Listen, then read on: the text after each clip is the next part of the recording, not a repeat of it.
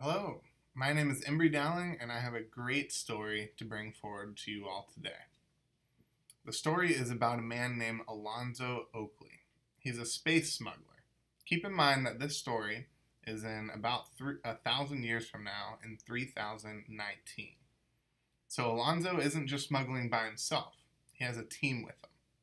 His team consists of three other people. One of them is an alien named Kay.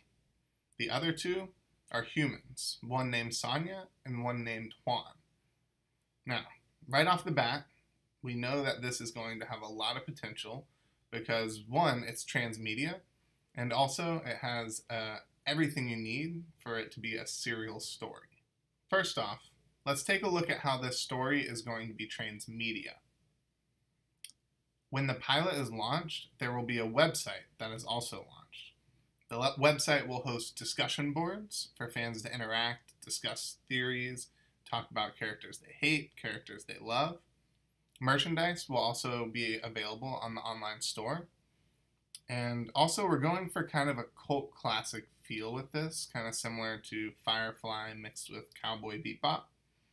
And it might not be a huge blockbuster, but the fan base that we have will be very devoted. So, the game part of the transmedia, I'm looking at a text based RPG.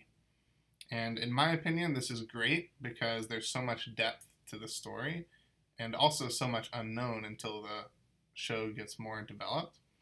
Then there's a lot of opportunity with the text based RPG. It leaves stuff to the imagination, and you can also develop it quicker and, most of all, cheaper for the company as well.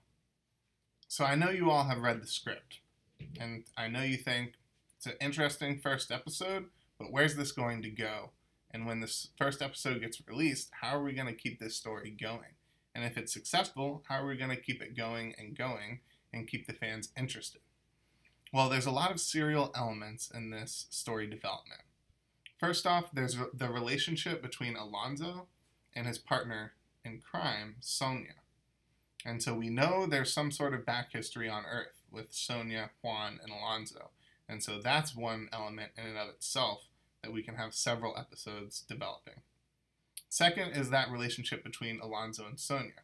His eyes kind of linger on her at one part in the uh, pilot, and also they bicker, kind of like an old married couple.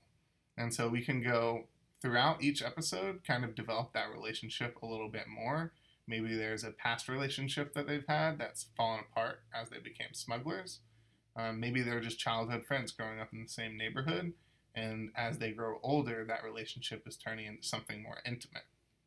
So there's great possibility between those two and also the three humans and their backstory on Earth. If you look at Kay and the Juggernaut race as a whole, and also how we set up the possibility for all these other alien races, we don't specify what other alien races are out there. We'll kind of just meet them as they are brought into the story. So we have juggernauts and we have a lot of other races uh, that are being developed, and this has a lot of world building characteristics in it, and it meets one of the requirements for having a cult classic. You want fans to be able to, you want to have enough depth where fans can dive into it and dig deeper and find out more on their own. And this can also be part of the website as well if we post more information on the different races and on the different characters. And so K in and of itself, being a part of the group, we don't know where he's really from, wherever the Juggernauts come from. We don't know who the Juggernauts are. Uh, we don't know their culture, their religion, their beliefs, anything like that. So all of that can be developed in episodes or uh, different types of shows that kind of spear off from this one. Big element of a serial story that we have in here is the main story arc. And so after Alonzo and his group makes it through the net, it looks like they're safe. Their ship gets hit.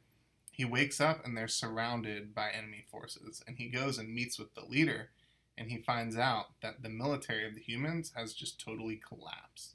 And there's all these different factions that are now vying for power and kind of going for their own gains and doing whatever they want. And so they end up having to work for this one in season one. And they at the end of season one, hopefully they kind of found out a way to destroy this faction or at least destroy its plans of expanding and kind of uh, bringing other alien, aliens into their territory and implying that they get killed. Um, they find out how to, how to defeat them, how to make their plans go away, how to get their money back, most importantly, they're smugglers. Um, and then there's all these other military factions that we can use in the coming seasons of the show because they we haven't really mentioned what the other factions want, what their goals are, what they hope to gain. And so after the, they get destroyed, then another faction can maybe rise up, uh, and they can be the main antagonist in the next season.